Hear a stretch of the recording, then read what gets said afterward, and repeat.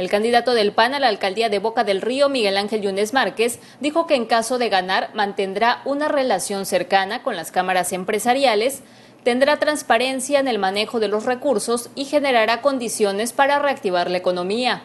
Durante la reunión que sostuvo con integrantes de la Cámara Nacional de Comercio, mencionó que además de instalar una ventanilla electrónica, promoverá becas de capacitación para tener prestadores de servicios y empresarios preparados. De que no sea el ayuntamiento que dé los cursos de capacitación, sino que sean las cámaras empresariales y que el ayuntamiento le dé becas a los jóvenes, a las personas que, quieren eh, tener este tipo de apoyos de eh, capacitación eh, para que pueda venir a las cámaras y, y, bueno, prepararse para entrar a un mercado laboral que sin duda está muy competido.